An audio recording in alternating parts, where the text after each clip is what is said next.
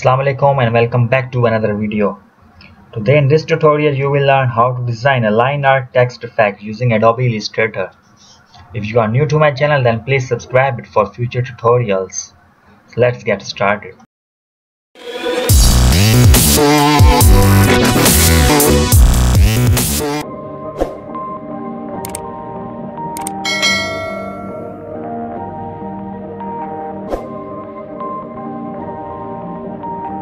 Perfect. Perfect.